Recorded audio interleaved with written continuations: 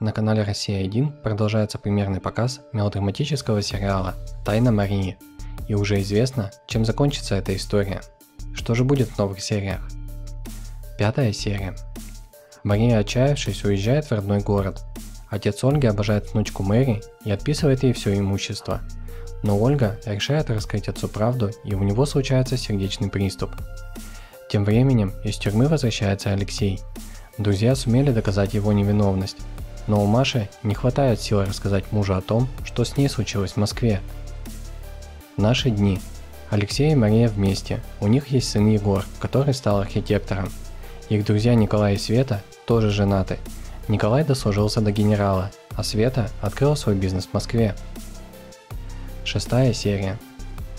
Егор предлагает директору строительной компании Мэри Давидович свой проект – он приходит к ней в дом, знакомится с ее отцом Михаилом и видит несколько архитектурных эскизов, которые почему-то кажутся ему очень знакомыми.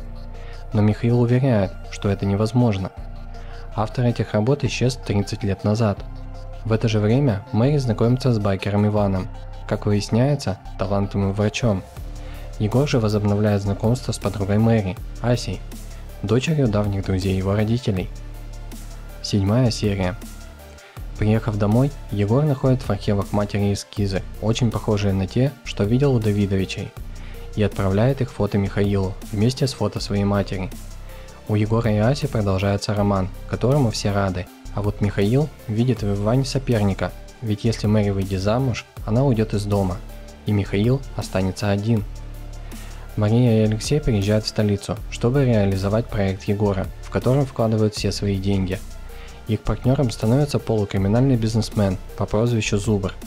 Об этом узнает Мэри и объявляет Егору и его новой компании войну. Заключительная восьмая серия. Иван успевает спасти Михаилу жизнь, но Михаил в коме, и врачи не могут гарантировать, что ему удастся восстановиться. Мэри в ярости выгоняет Марию из своего дома и запрещает приближаться к отцу. Но Мария все равно навещает Михаила в больнице.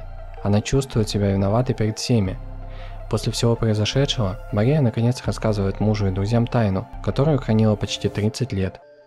Николай начинает подозревать, кто может быть истинным виновником всех бед. Премьера заключительных серий состоится с 16 сентября на канале Россия 1. Приятного просмотра и не забудьте подписаться на наш канал.